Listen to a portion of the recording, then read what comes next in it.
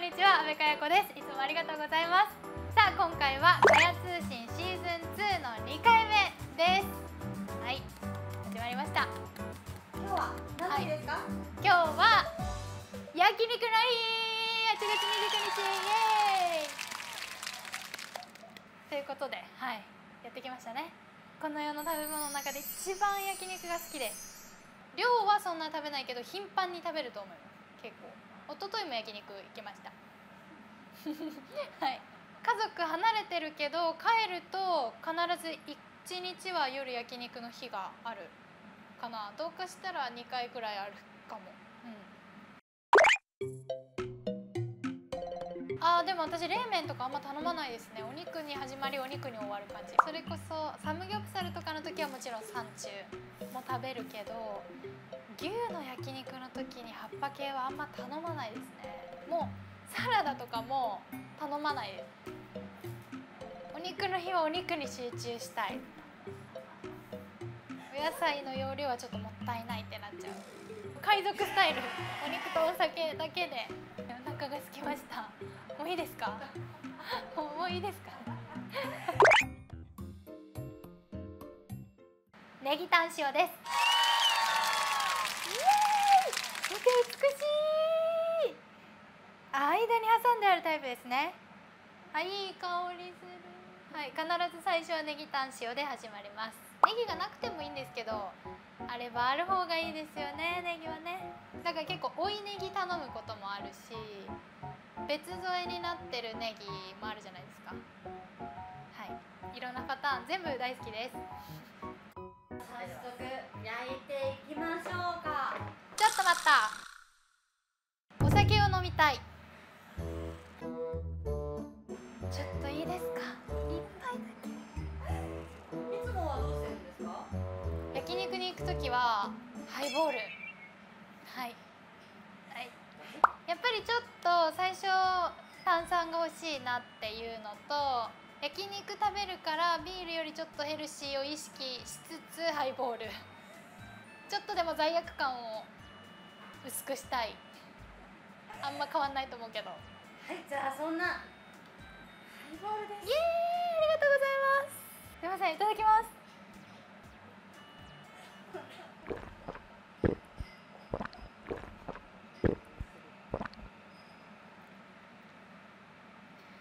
幸せ。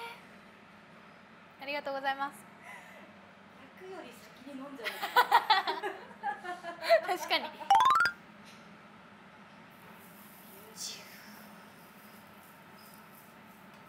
幸せな音。さあねくっついちゃうからね。あの私ペースを自分で決めたいんですよ。そうゆっくりすぎるのも嫌だしちょっと結構ペース早いなっていうのも嫌だから自分の分は 自分で焼きたいし焼いてほしい。目上の方とかと行くと焼くけど焼きたいですだから私は。ペースすごい大事。こういうターンとかはちょっと難しいんですけど普通のカルビとかハラミとかは何回もひっくり返さないっていうポリシーはあります。どうしてもまだだなっていう時はもう一回ひっくり返したりもするけどなるべく今だっていうタイミングまでじっくり待ってひっくり返す。気のせいかもしれないけどちょっと硬くなっちゃう気がしてやっぱ1回でバッチリの焼き目だったらかっこいいし。そしてよく焼きます私は。よく焼く派です。行くで。行くで。うわー。美味しそう。美味しそう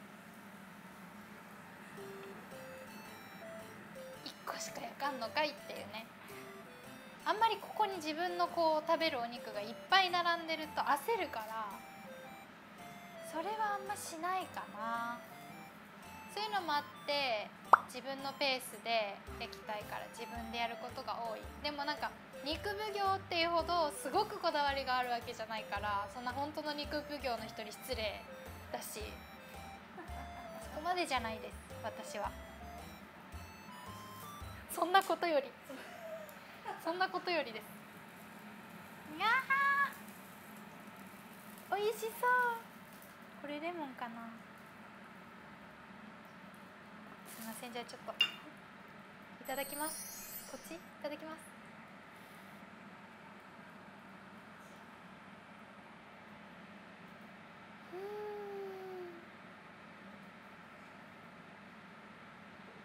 最高です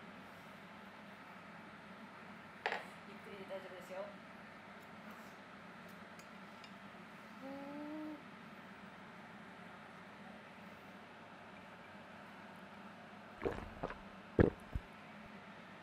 あーうまい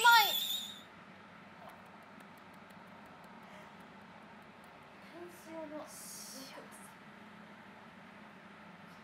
なんか本当にごま油の香りがするのも最高だし一発目はやっぱタンじゃないですか？さっぱりしてるしでこの後にちょっとこう、まあ、カルビとかを頼む人は頼んで、はい、私はちょっとこだわりの順番があるんですけどね。お肉から片時も目を離今っていうタイミングがきっとあるからそうでも割とお肉焼けていく様子を見てることは多いかな。焼けてっていう圧もういいでしょ。あー美味しそう。美味しそう。美味しそう。いただきます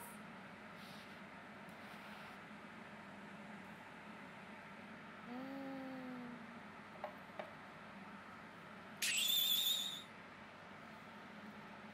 最高に美味しゅうございます。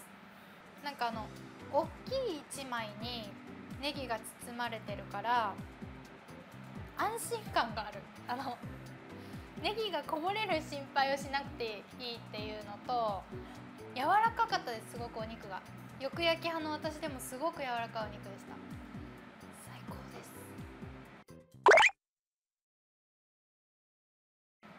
塩の後にいただくのはハラミです。ありがとうございます。頂戴します。昔はタンハラミの順番ではなかったんですけどちょっと大人になりましてあのさっぱりしたいという気持ちが生まれてからハラミかな。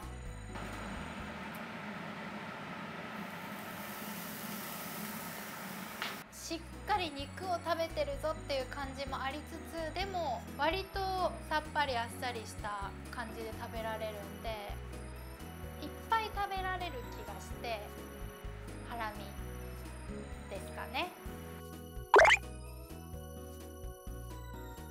ハラミは特にいっぱいひっくり返さない。あと構そのハラミってつぼ漬けだったりタレとかがついてる場合が多いから焦げやすいんですよ。なので弱火で丁寧に焼くことが私の中では大切。ずっと見てますね。本当に。ずっと見てる。頑張れ。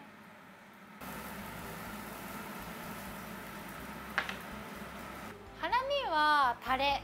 なんか漬けだれがそもそも焼く前のお肉についてる場合でもタレはつけたいかな。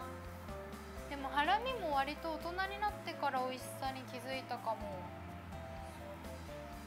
あんまり若い時ハラミって食べなかった気がするな。めっちゃ美味しそう。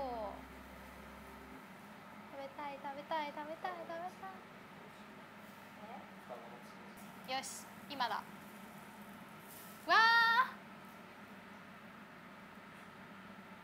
罪な部位だよ本当に。いただきます。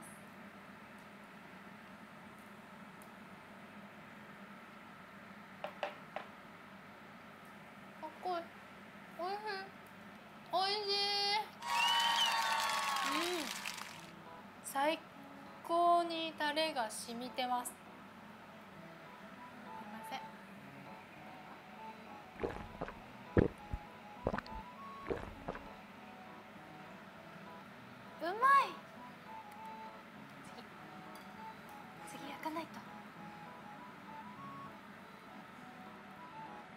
当に柔らかいです。柔らかいけどしっかり肉肉しさもあって食べ応えもあって、味が本当によく染みてますね。ってことで。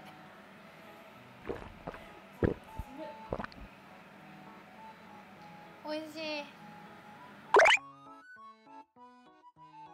幸せだったエピソードはあのーお給料をいただくようになってから自分のお金で初めて食べた焼肉そんなにすごくいいお店とかでももちろんなかったけれども初めて自分のお金でちゃんと焼肉を食べた。やっぱ焼肉って贅沢なものだしそれは本当になんか幸せと満足感はちょっとやっぱ段違いだったなっていうふうには思いますね。そっからも幸せな焼肉がいっぱいあったし焼肉って常に割と幸せだけどあれは本当に記憶に残る焼肉だなと思います。そうですね。焼肉に行って大体最後か最後から2番目に頼むのがホルモンです。私はあの脂身がついたタイプのいわゆるホルモンが好きです。あのもつ鍋とかに入ってるような油の甘みを感じられるホルモンが好きです。ありがとうございます。あの私ホルモン実は苦手で割とほんとここ1年くらいの間に好きになった部位なんですけどってりしたものが苦手だったっていうのもあるんですけどホルモンというものにちょっと抵抗があって苦手だったんですけど地元の七輪で焼いて食べる本当に地元の人が通う大分のホルモンのお店に行った時にあの目覚めました。そもそもホルモンを好きになりたくてあの父に教えてもらったお店に一緒に行ったんですけど本当に美味しくてこんなに美味しいものを今まで避けてたんだと思ってそこからもうもっぱらホルモン最後にはホルモン。その後もう一回ターンいっちゃうこともあるんですけどホルモンは頼みますね。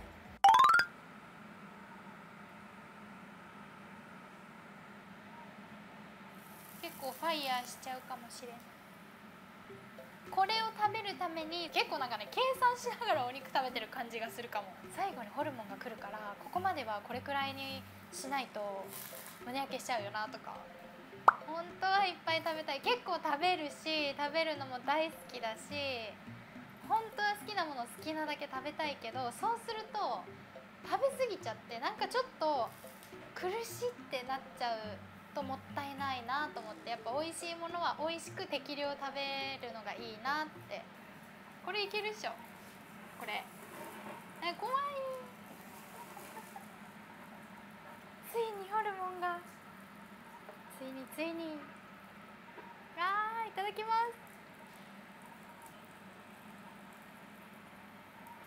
す。うん。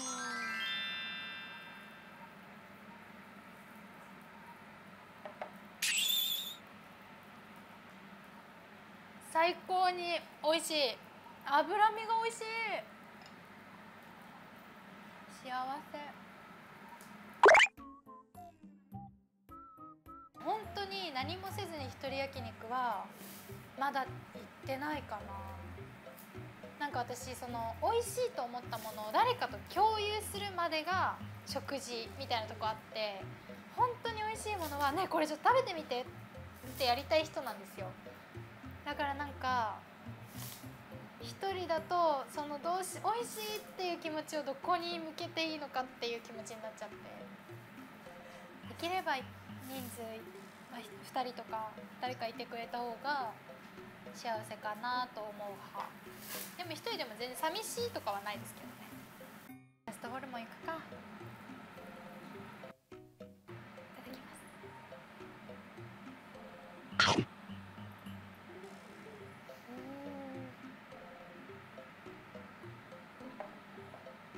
完璧です。